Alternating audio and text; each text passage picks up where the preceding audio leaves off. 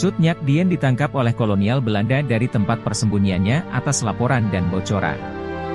N yang disampaikan oleh Pang Laut. Adalah seorang pejuang Aceh yang sudah bertahun-tahun bergerilya bersama Cut Nyak dari hutan ke hutan Aceh, merasa kasihan dan iba melihat kondisi Cut Nyak yang semakin tua renta. Serta melihat serangan-serangan begitu gencar yang dilakukan Belanda terhadap Cut Nyak Din dan pasukannya.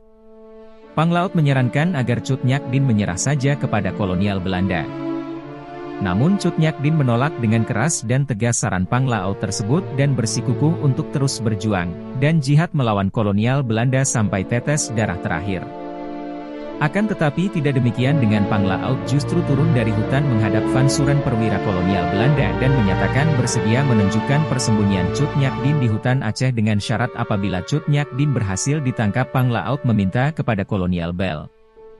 Anda memperlakukan Cut Nyak Din dengan sangat baik. Dan Panglaut meminta kepada kolonial Belanda jangan sampai Cut Nyak Din diasingkan keluar Aceh, sebagaimana biasa dilakukan kolonial Belanda terhadap tawanan-tawanan mereka. Tapi pada faktanya setelah Cutnyak berhasil ditangkap dan telah berada di tangan Belanda. Belanda tidak melakukan itu semua. Justru Belanda tidak menetapi janji-janjinya dan memilih mengasingkan Cutnyak Din ke Sumedang, Jawa Barat pada tahun 1908.